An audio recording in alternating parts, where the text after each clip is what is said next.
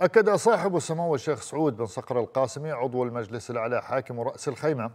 أكد أن تعزيز العلاقات والشراكات الصناعية الاستراتيجية ركيزة أساسية في خطط الإمارة لتنويع اقتصادها وترسيخ مكانتها المتنامية كوجهة مثالية لممارسة الأعمال والإسهام في تحقيق الازدهار الاقتصادي والتنمية المستدامة لدولة الإمارات.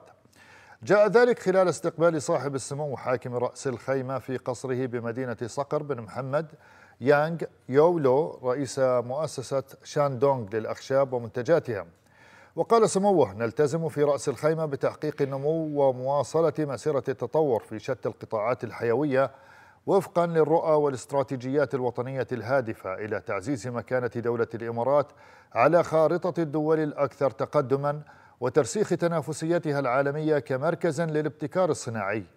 وشهد سموه توقيع اتفاقية بين هيئة مناطق رأس الخيمة الاقتصادية راكز ومؤسسة شاندونغ للأخشاب ومنتجاتها لتأسيس زونغ إي شاندونغ Industrial Park في الإمارة باستثمار يبلغ 360 مليون دولار أمريكي.